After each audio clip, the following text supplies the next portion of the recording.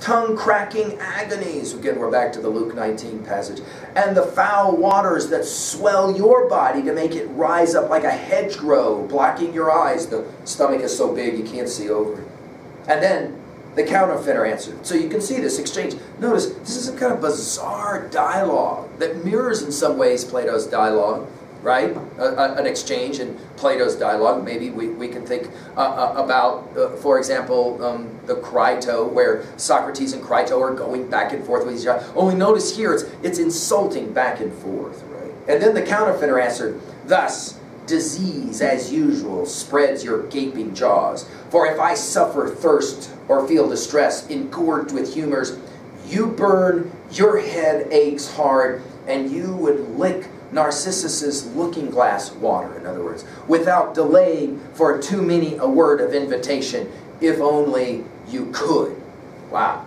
By the way, that Metamorphosis Narcissa uh, line is from Metamorphosis 3, 407 to 515. By the time you finish reading Dante's Inferno, you pretty much have gone through most of the major stories of Ovid's Metamorphoses. I listened to them intently. Dante, he's totally into this, right? It's the way that, for example, some of us have a, a, guilty pleasure of watching silliness on TV when people are going at it. And we know it's all silliness and, you know, or it's that silly, that wrestling stuff where we know that it's all kind of contrivance and fake. And yet, many of us still want to watch it. He says, I listened to them intently. Then I heard my master. Now we're going to go back to the beginning of 29. So the, the, the two cantos come together brilliantly. Remember the beginning of 29, Virgil said to Dante, knock it off, you need more focus here. Stare a little longer, he said, and I will quarrel with you. This is with Virgil. Stare a little longer, he said, and I will quarrel with you. In other words, enough with the watching, this silliness. When I heard him speaking to me in anger as he had, I turned to him with such a feeling of shame that it still circles through my memory. Of course, notice, we ourselves as readers have been watching this as well. Are we supposed to feel a certain kind of shame that we're so attracted to some of this? I think Dante is challenging us.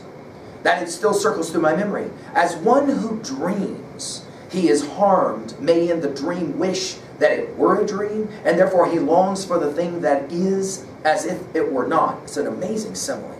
So I, unable to speak, was yearning to say something, to excuse myself. And by doing that, I did excuse myself at the same time as I was failing to do it in my thought.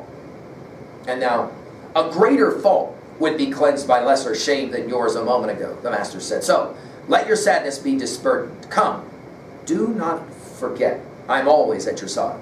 Should fortune bring you again to where you hear people who are arguing as those two dead, wanting to hear them is a low desire. Don't engage in this kind of thing back and forth. By the way, notice the lines. Do not forget. I have said that if you want to reduce all of Dante's understanding of sin, it is the only sin, is to forget. Very interesting, right? Don't forget. In the future, he says, when you're back. All right, let's do quickly now levels 2 and 3 here. Uh, at 2a, well, the worst fraud, of course, affects the most people, and counterfeits, therefore, are some of the worst. The sights, the sounds, the smells of hell all of them create this cacophony, this sensual attack. Which one you, for you is the most compelling? Maybe for Dante, he thinks it might be thirst. How about this one? When you counterfeit or you falsify, or you falsify, you lie, you cheat, you're actually somehow destroying your own identity. We've heard this one before. You become less of who and what you are. And of course, finally, you shouldn't be too attracted by other people's drama wanting to fight. This is an interesting line given our idea, given that we're in a high school setting, where if two people start going at it, everyone seems to kind of want to engage. Think about how social media fans this foolishness, and you can hear Virgil saying to Dante the Pilgrim, and therefore to anyone that would want to engage in that, knock it off. You don't need to always be wasting your time with that kind of foolishness. Well, the symbolism, I mean, it's an amazing thing, right? The counterfeit coins, a broken soul, the rivers and the fountains symbolizing the longing for thirst. But more, I mean, think about those swollen bellies. It's an amazing symbol, and it takes us back to the Trojan horse of Virgil's Aeneid. Amazing. The ironies, of course, is that Sinon ends up here, right? The great liar of the, of the Aeneid, here he is, right? His punishment. And he's still combating with language, right? Dante is poet, well, I mean, using finally Christ's story so late into the Inferno, anybody that would pick up Inferno would expect Luke 16 to be somewhere near the beginning of the poem. No, no, Dante, brilliant, bringing it to the end. Dante the politician, well, one more time. Notice he checks the Sienese in this one. Why Florence, why Italy is so messed up. Again, that longing for greed and the inability to solve the problem. And yet notice in the poem, Dante himself is still wanting to make sure his family gets proper revenge. Later in the poem, The Divine Comedy, Dante the pilgrim will come to understand conflict resolution cannot happen through that kind of violence. It just doesn't work. An eye for an eye makes the whole world blind. You'll remember Gandhi and M.L.K.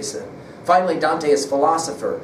This is interesting. To be someone you're not is the worst lie. This takes us back to the Delphi oracle, know thyself. Or does Socrates' um, um, comments in Plato's Apology, the unexamined life is not worth living. Notice that we've even got that referencing of Narcissus and the water as being a mirror. In other words, Dante is suggesting, look into this text and see for yourself what's necessary for your own learning. It's compelling. At 3a, well, obviously, Ovid's Metamorphosis. I mean, I've had students that say, I'm going to go and just read that poem because of, because of all the references. Um, of course, think about it. Homer celebrates the liar and the counterfeit until he doesn't, right? Odysseus is the greatest liar, and yet uh, Antinous and the rest of them, uh, of the suitors, uh, Homer has great disdain for. Interesting, right?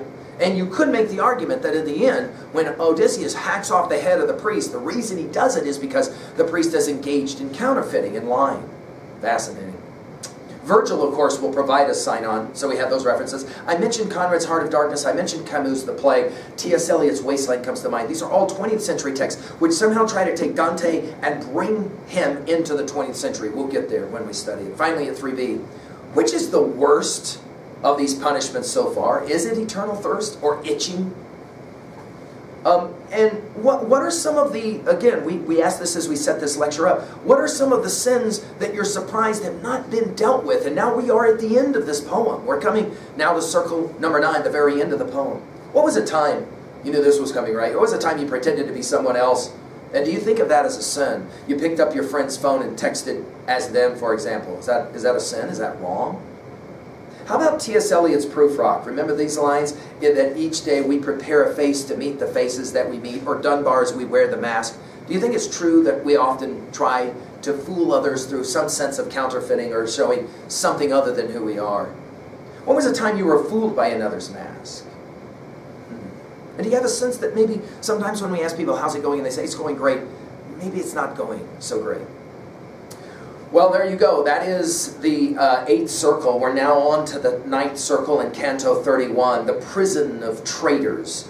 Um, uh, the worst, according to Dante, and why we'll get to. I hope this study has been challenging to you as it has been for me. Thank you.